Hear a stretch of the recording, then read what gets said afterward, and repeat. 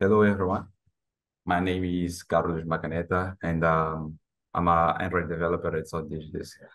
And today I'll be presenting uh, about the education app for with DHIS2, which is called SEMIS Capture App. Uh, for, for this presentation, I've prepared uh, uh, some some introduction. I will be introducing you what is SEMIS. I will tell you about the features and challenge that we have faced during the, the, the de development and implementation of this the the this app. Uh, starting with uh, EMIS. EMIS stands for Education Management System. Uh, this the, the, this app was designed with DHIS2 platform. Uh, and this app has been implemented um, to, to, to many countries uh, that we consider ISPs at all. And this, uh, this, this app aims to, to collect and uh, to collect, store, and report data from, from each individual person Uh, the implementation of, of the system uh, will allow the, the, the users to collect the, the data, improve the ways and uh, improve the way and the, the, the data, improve the way how the data is collected and managed by each country, which is using EMIS for education. Uh, in this way, this can help the, the, the, the, the, the, the, the way the, the, the information is managed by by the by each country about education, giving more reports and aggregated data for each student. Uh, I can say. Um, I think so, you need to share your screen still. Oh, sorry. I thought that I was already sharing. Uh, no worries, no worries. This is a good uh, introduction anyway. So. I'll be sharing.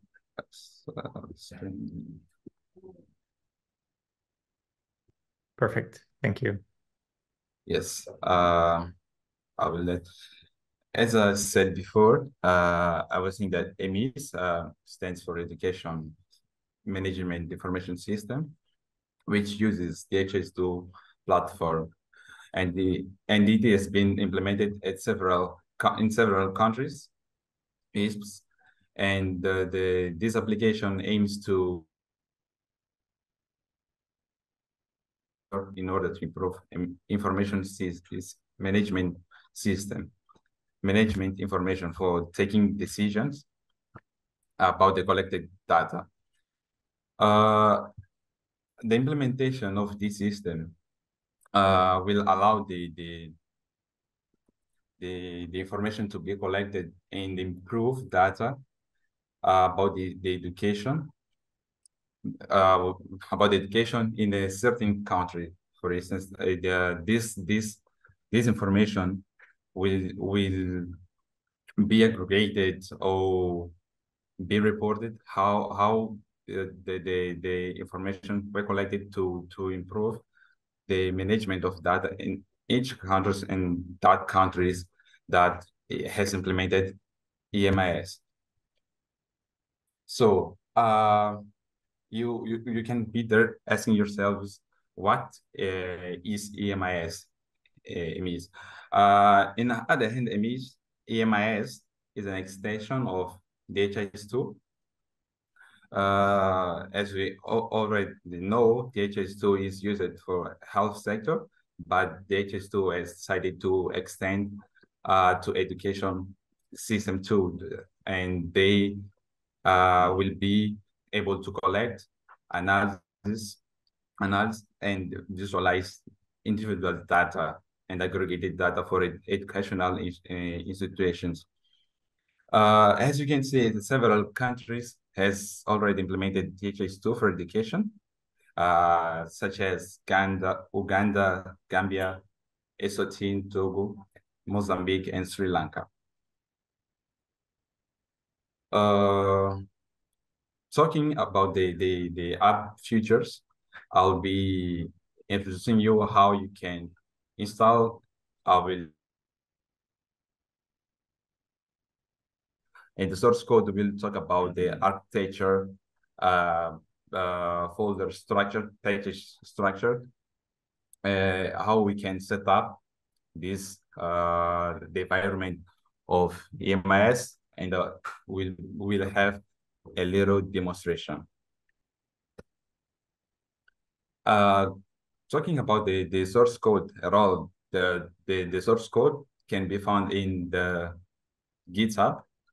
We have created the, the we have forked a DHIS2 core capture app uh, repository, and we have created a module into the, the, the core to implement EMIS. So the EMIS is already integrated with the capture app, and we have the, the link that we can share with you to to download the the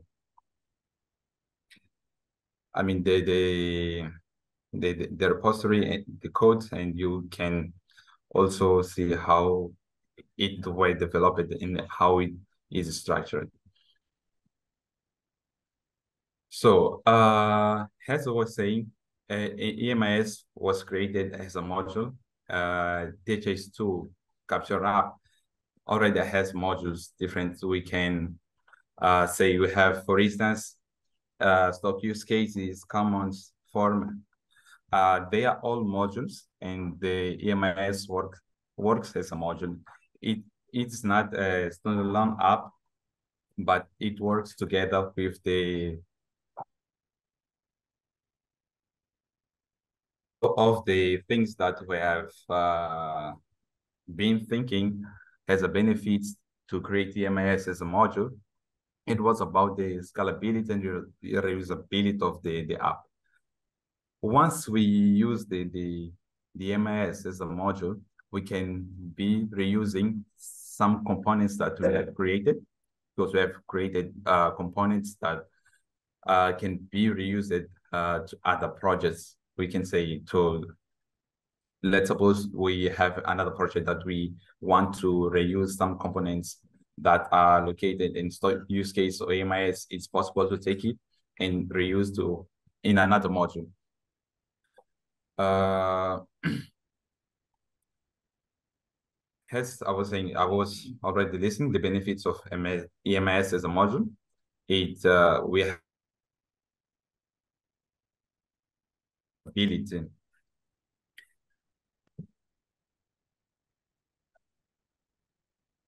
Uh, uh, talking about the architecture, we we have implemented MVVM architecture to develop uh, the, this this application. Uh, one of the things that made us implement or choose this architecture. Uh, it is because uh, this facilitates the implementation of testing. If you want to implement unit testing or another kind of testing, it's easy to implement testing with MVVM and it's easy to maintain. MVVM also has the well-structured and defined structure that can uh, facilitate the, the, the devs or the users navigate into the navigate into each package to interact with or to or to take a look about the code and they can uh, contribute with their opinion, ideas, etc. about the libraries that we have used, we have we didn't use a lot of them. We have used uh, the popular DHIS2 to collect individual data. Uh, we we use DHIS2 in the background to has our database, and we can take this data to and we can implement the, the same the same uh, structure that we have with uh, the the corrupt, uh, the synchronization, the the upload, etc. That's why we we use DHIS2 SDK, and we have HILT for dependency injection, JSON, which is for JSON parser, and we have data store to store user preferences. Uh, we have uh, a setup, app feature setup. App feature setup is something that we need to do before uh, before using the, the, the mobile app.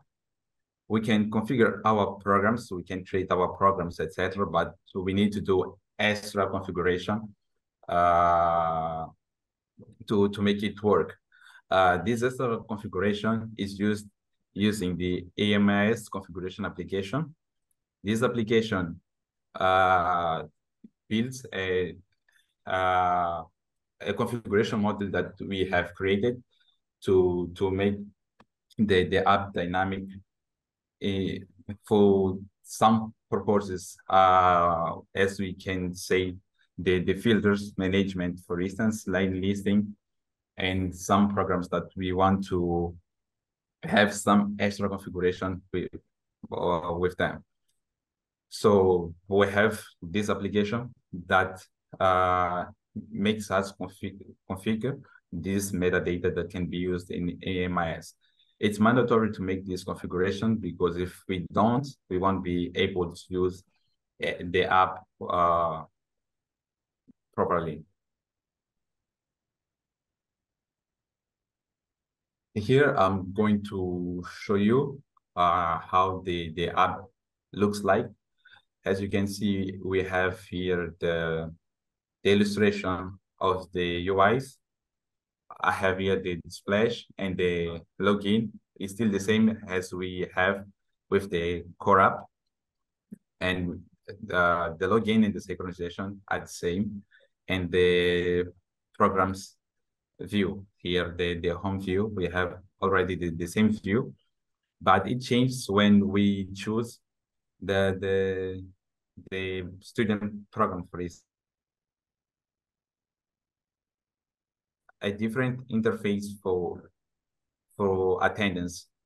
So for attendance, we have this interface, which uh, we need to select or apply the, the filters. So we select uh, the filters we want. We have the period of academic year.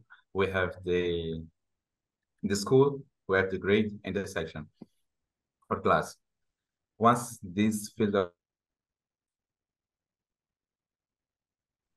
and we have a, a, a, summary of how many students we have for this for this uh, grade and, and class. After that, we will face this uh, attendance and attendance view, we will face this in interface, which the user can update the, the attendance status. Attendance status, as you can see in this side, we have three different status. Uh, those status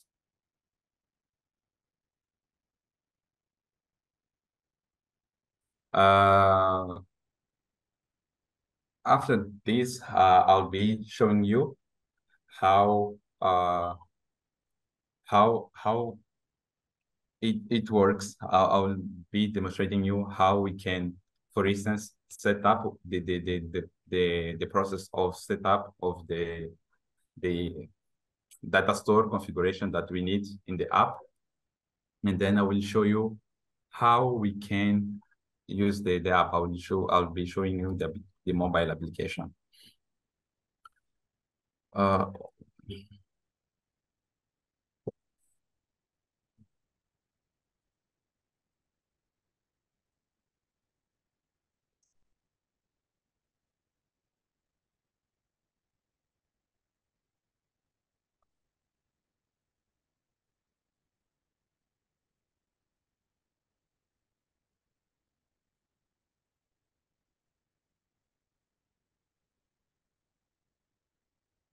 Okay.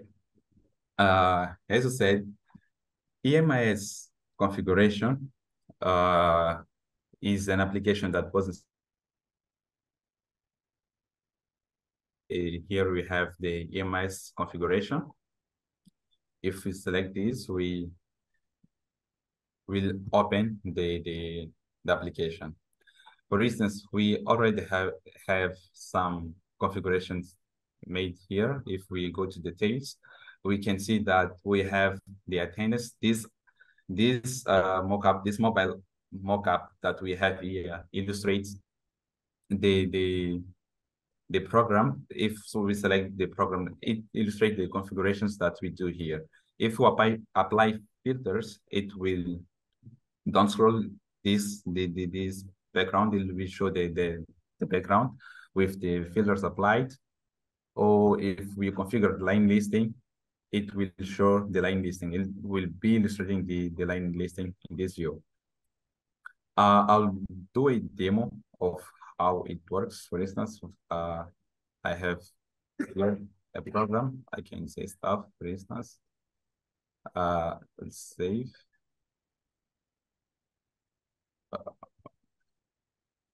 Uh, for filters, I will create uh, one filter for it is organization unit and we set the level of this organization unit.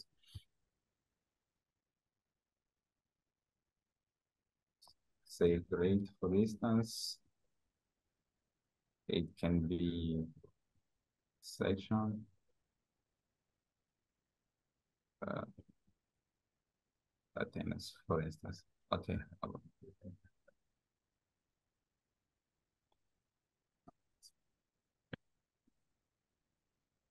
Okay. Once we once we we we create this configuration, uh, we will see uh, this displayed in this section. For instance, for for the programs as we saw before, we will have the that view with the with these these details. I, I will show you. For instance, we have these details right here with the line listing and the, the programs in the setup, we will have this interface. All as the once we create a program, filters or line listing. This is to guide us how we can show how this will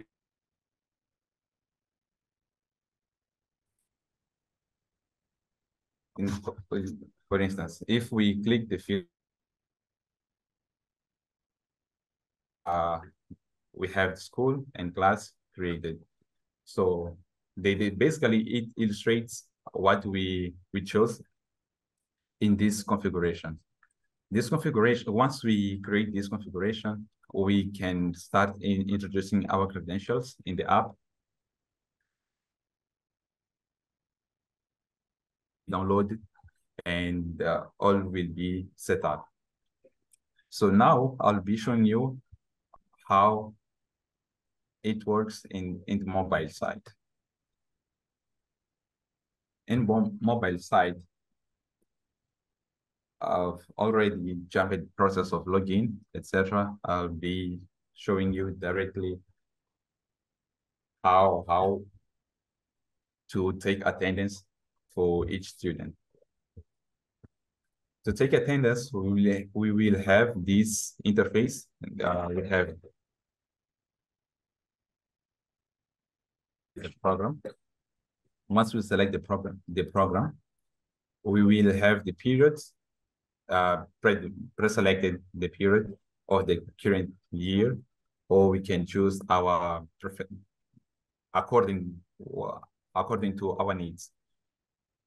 So we have this school uh, tree.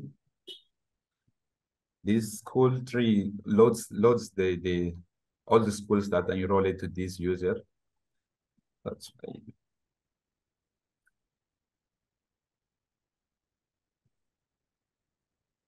While we're still waiting to this, uh, this is one of the filters that we have to apply, and then we will follow to grades and sections, which we apply and we get the list of, of students.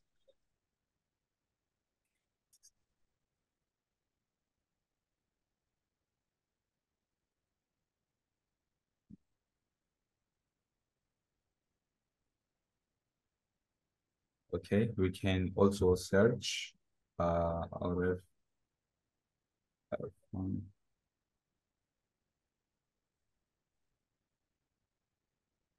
I'll be selecting the grades and section. Oh, uh, section. Okay. Well, as we uh, once we select the once we apply the the required filters, all all fields are required. We get this the list of students. After getting this list, we press attendance to take attendance. As you can see in here in the top bar, we have the current in the calendar. We will uh, set the, the, the attendance for the current date. We can test something like uh, select another day, for instance, mm -hmm. Tuesday. And the status is updated according to each date. I will this green check we have uh, present for this block in orange. We have late and for this we have for this cross red cross we have we have uh, absent. I will simulate for absent. Have uh, when we select absent we have to select the result of, of absence. Have this the the status, the attendance status second. Before we save completely, we have to make sure that this summary is the is the attendance that, that, that we took before. When we take attendance we, and we try to, to save, we will have this, this, this summary will be launched to make the user confirm if he wants to save or cancel. Once he cancels, he, he, he completes he, he will have these stats. He will go back to this view and he will be able to see the stats. If we change the date, for instance, for the current one, you can see that the status is updated because we didn't take attendance for this current date. Or we can go to also update our stats. As you can see, the summary has been updated and we save, and Macamo Esmeralda now is late. So this is the process of taking attendance uh, uh, for, for each student.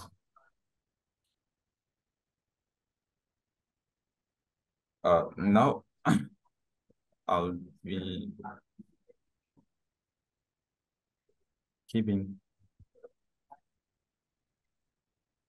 after the demo, uh, we have faced some challenges right here. One of the challenges that we have faced was to integrate the EMIS into DHIS2 Capture app. Uh, integrate EMIS into Capture app was a big challenge because uh, we, we have tried uh, from ourselves just uh, import module because we have created this app standalone before. It, it was standalone and we created the app and we tried to import it as a, as a module. And we had a lot of issues, which most of the, those issues was about the incompatibility of libraries and dependencies. Uh, this app was created in Jetpack Compose in the, the the, the version was was ahead from the, the current app in the the oh, into the the DHIS2 and we had problems to to associate to uh, to make Hilt collaborate with Dagger. As we know, the DHIS2 is using Dagger role and we wanted to integrate the Hilt, etc. And we had those problems of dependencies uh, bags and the build with HTTP, etc. Uh,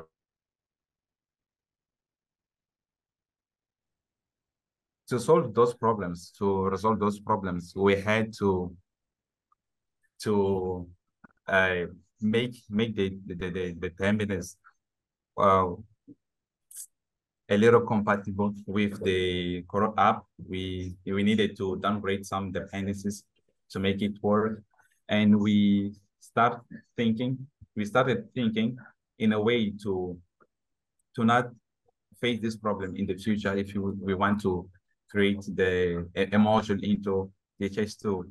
And one of the solutions that we we found we uh, we had to to do that was create uh was do a, a fork. We we made a fork in the DHIS2 capture app, and then we created uh, a simple uh, module into the, this work.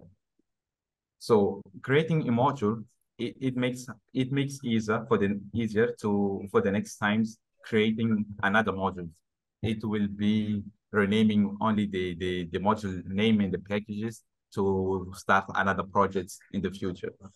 In this way, the only thing that we need to do is is only to uh, keep up, updating uh, once a week, once a month. We start updating only the the the the our fork to make it to make it uh, com compatible with the core app. Uh, that's it for, for now. That, this is what we are facing. And now I would like to hear you, your questions, your doubts, ideas. Uh, but sorry, but before going to to question question questions, ideas or, or doubts, I would like to uh, dive into the code a little bit to to show you how how it, it how it is structured. Sorry. Uh, going to the code, we have here the EMIS module. And we have the, the, the structure of, of our code as, as uh, shown before. In in the structure, we have data, DI, UI, and utils as our main as our main uh, as our main packages. For DI, we still uh, we, we just ready to implement the dependency injection of the app and data. In the data package, we have the our app repositories and we have our app module. And UI, we treat everything about UI, all the states of UI, view models, etc. And components folder that uh, is into UI package. This is uh, for generic generic components components that we have created created once to be reused in uh, another views that because we have some repeated components. So uh, I'll be showing you uh, as an example. We have attended screen, attended screen uh, in the app that we have, uh, sorry, stands for this screen. This screen is a attended screen. So to build this screen, we, we have created a generic component that we have metadata. Metadata item is this uh, item that shows the information of the, the student, that showing the name and this code.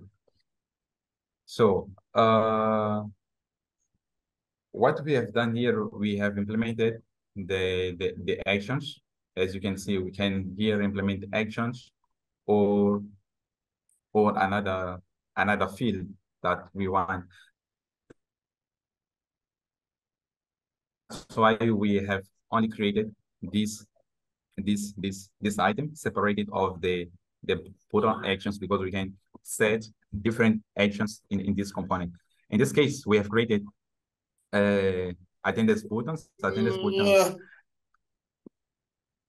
are only the, the the buttons that we have used to to set the, the status of attendance.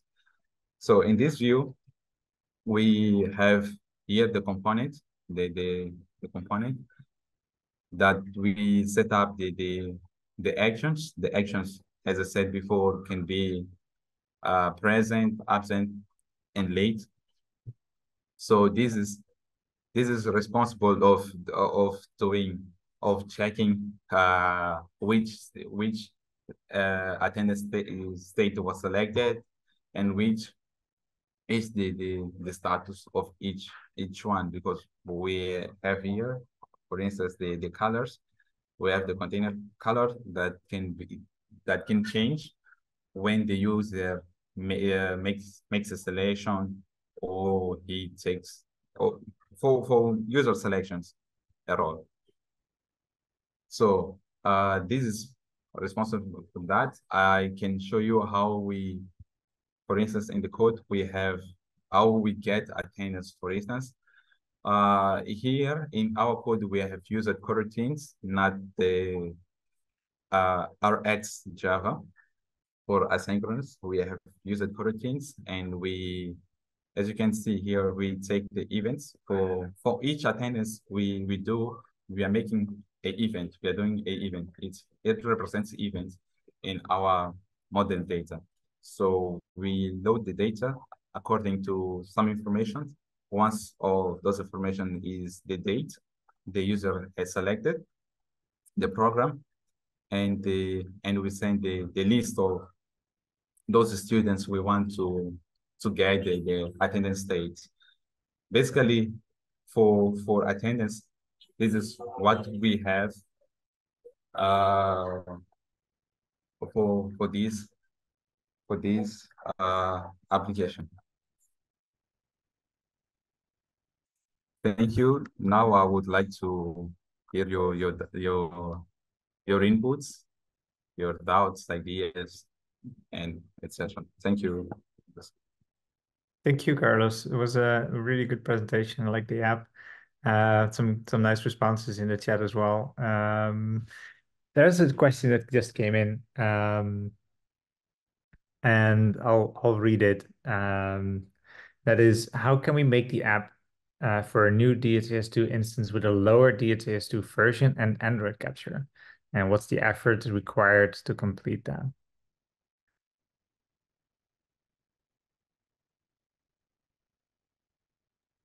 Sorry, can you come again, please? Um, so it, it's also in the chat, so you can also read along. Uh, but how can we make the app for a new DHIS2 instance with a lower DHIS2 version and Android capture? And what's the effort required to complete?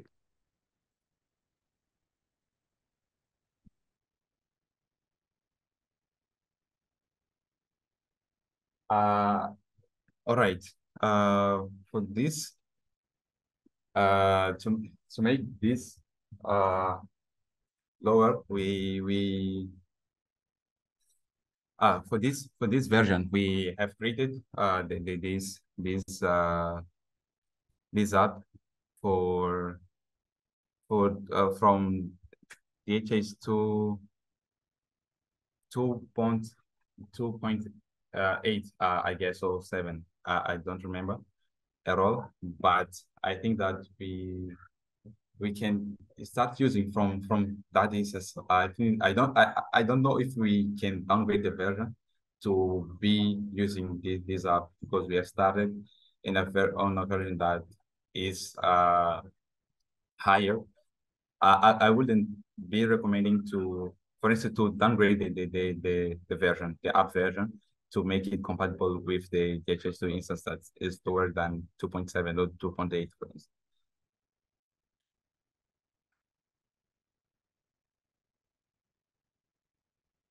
Okay, um, cool. Uh, yeah, I mean, lower versions are generally not recommended if you can avoid it. So uh, if it's a new instance, I would highly recommend just keeping it as high as possible. Um, and then um, a question from Kasim. Uh, what role does the DHIS2 community of practice has uh, in the future of the app? And uh, uh how helpful did you find the, the COP during development and anything in particular you would like to recommend to the community?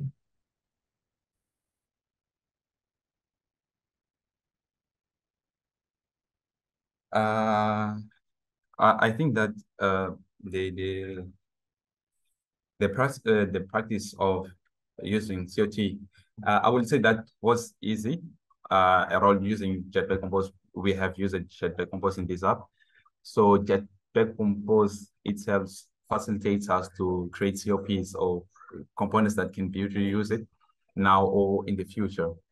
One of the things that we we do is try to uh, update the, the project uh, dependencies, for instance, to make it compatible with the newer versions, etc. So the the so we we don't need to be worried if the the app will be compatible with the new dependencies or in the future or not. Basically, some of, of the components that we still have have here that we have created can be turned in, into COP to be reused in another modules, for instance.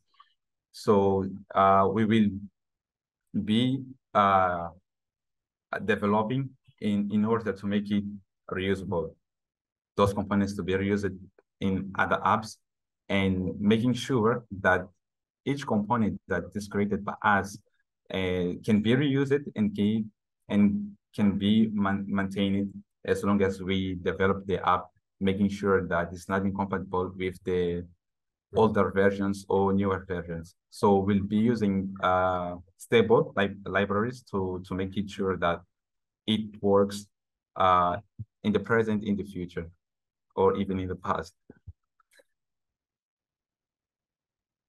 Awesome. Um, I, that wasn't exactly what I asked, but uh, or what was asked, but it was a good answer nonetheless. Um, but the question was about the community of practice, uh, which is also COP. I think it's uh, ah. that's part of the confusion.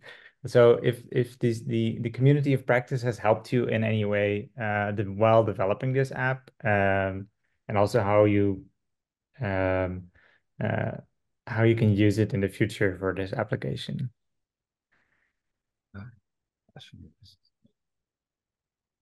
Uh, properly the, the question. You you want to say how the, the community can uh which is the role of community to to collaborate in the future? Is something was that or? Yeah the the community of practice. So the our our uh, the DHIS2 community uh, that we have. Uh, well, uh, about the the practicing uh, that they've been using, I think that uh, we have been uh, using practice of the the DHIS2 uh, corrupt. We had an experience before with them, and we try to follow the the same practices that that they that, that they have implemented in other projects. Uh, I think that can make easy to the community uh, collaborate or, or get into uh, the app. I think, yes, we have been using the, the, the DHIS2 practices. Okay, great. Um, or, and then, yeah, so uh, Victor yeah. gave a clarification in the chat about lower as a DHIS2 versions, which is that the uh, Android SDK takes care of different versions. Um, so it can go up down to 2.30. So that's um, it's good clarification. Thank you, Victor. Um, let's see, are there any, any other questions? Uh, so I, I also have a question, and um, is this application currently used in in, in production for um, for a large group of people, or is it uh, still a trial? Uh, this application uh, right now is being used uh, as a test and with a uh, great amount of people they are using, but we didn't um, make uh, an official release, for instance, because they is being used as a test for for those people. They are still testing the app, and we are some getting we are getting some insights and inputs about what can be performed to to make it uh public to release it to to everyone. Okay, great. And and are you looking for for more testers, or are you happy with the current test group? I think that it's great to, to this great amount of group because we have a lot of people testing uh, this app. So we get great great feedback and we great uh, uh, we get great feedback to to improve and from this. I think that's okay.